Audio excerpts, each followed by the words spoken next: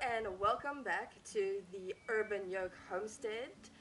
Sorry for the delay in videos. It has been a crazy month for a while. so today we're going to go through the Shade House and the Food Chapels, go through a little bit of an update on what is happening there. So the first thing um, I would like to tell you about are these fantastic little windows that we put in. So they're essentially just some bird netting on the inside that's been attached to the shade netting so pollinators are able to get in even when we don't open the front. right, so the door, I'll show you in a minute, the door we have two sheets of shade cloth going over each other that are then pegged in with tent pegs as well as a rubber sheet going over the bottom. And we haven't had any predator issues with that but that's also likely to the fact that we have five cats and a perimeter wall. So let's get into the shade house and see what is happening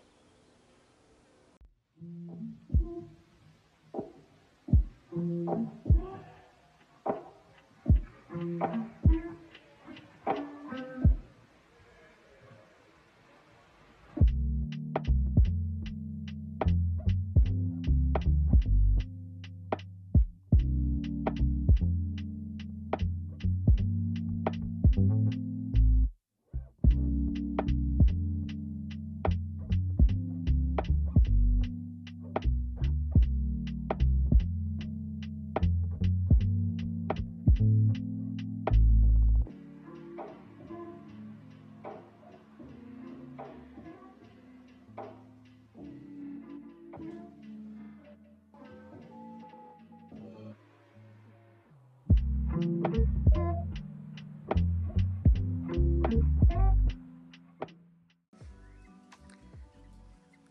first update inside the shade house is that the quails have really been enjoying it in here to the point where we've actually had to put some covers over a few of the seedlings so that they stop destroying them.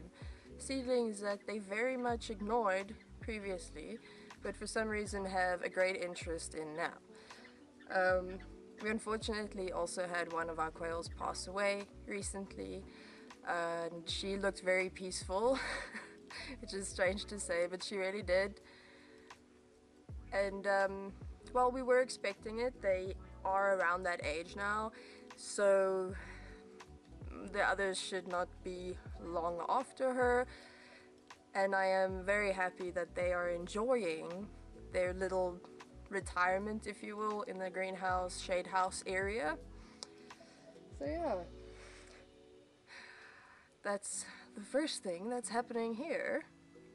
And for the most part, it's been quite lovely to actually just watch them get into it and have a bit of freedom.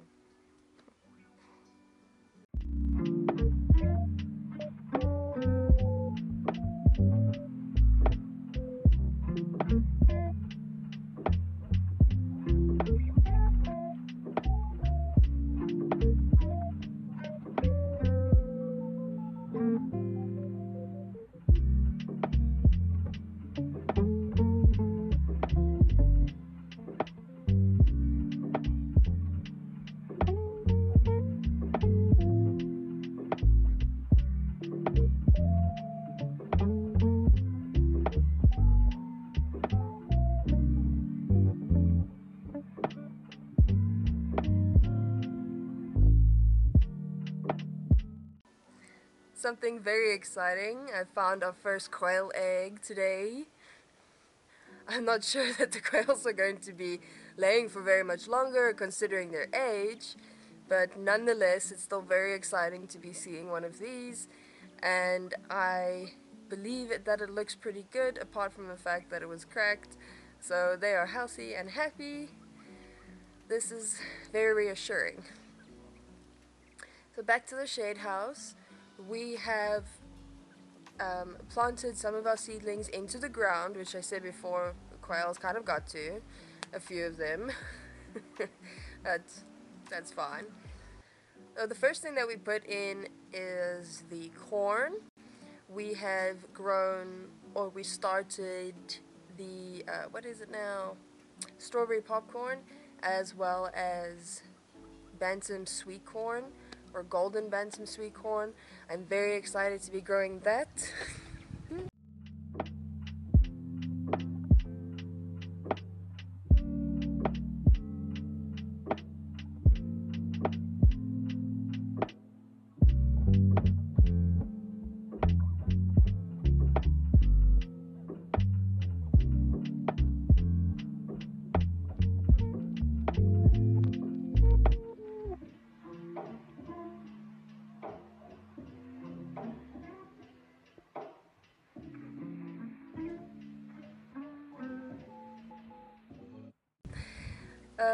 yes, very much so.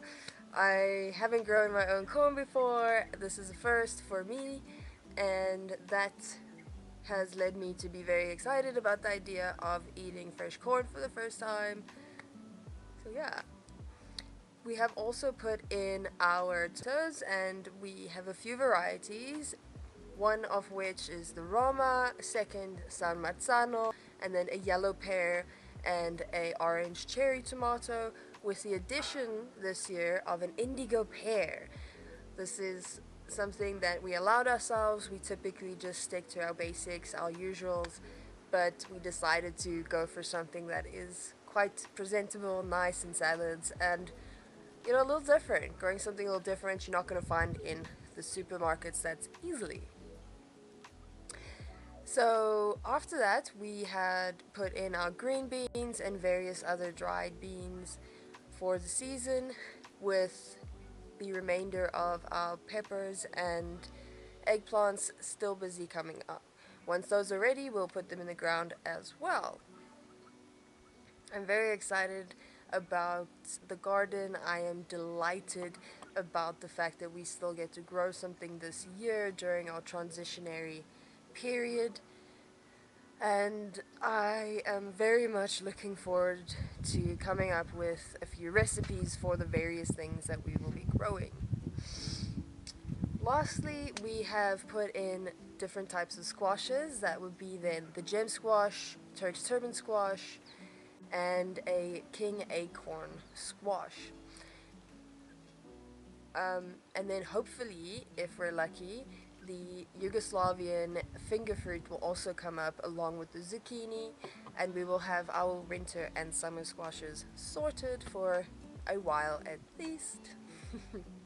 so that is what is happening in the shade house at the moment and we can then move on to the food chapels. I'll let you see what is happening that side and what our plans are in the coming months. Alright, so we have spoken about the Shade House a bunch. Now let's get into the food chapels. Here next to me is food chapel number uno, and this food chapel has broccoli growing in it, purple broccoli at the moment, and it's growing perfectly happy with then peanuts, I believe. I'm not sure which types of peanuts, but peanuts that we have seeded next to it as well. So we are hoping those are going to pick up pretty soon. Then food chapel number two has been doing quite well. We put radishes and carrots in there. The radishes have been growing seemingly with no issue up until now. I think it is getting a bit hot and maybe they're getting a bit damaged. Soil is not what it should be we are looking into amending that, especially because we would like to resow with carrots for the autumn grow.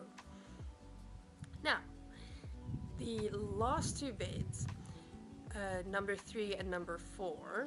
So number three has pak choi growing in there as well as some flamingo pink spinach. It has been growing quite well, but unfortunately it's gotten too hot for the pak choi, so it is going to seed we decided to harvest most of it in the next few days and leave a few to go to seed so we can replant in the coming autumn grow season. The carrots have been growing well in some spots, not so well in other spots, but we'll get to that later, I guess. The last bed, number four, has been doing absolutely terribly. It was under a lot of shade for a while, and it's now is just getting I think too much sun in the afternoon. So it is not enjoying that sort of space where it is. And we have to look at what we can grow in that space and what I hope you enjoyed this video on our little updates with the shade house and food chapels. If you have any comments please leave them down below. And do share if you feel like it is worth sharing. So thank you for watching. And until next time Mincake's busy playing or something in the background here. oh, goodness. Oh.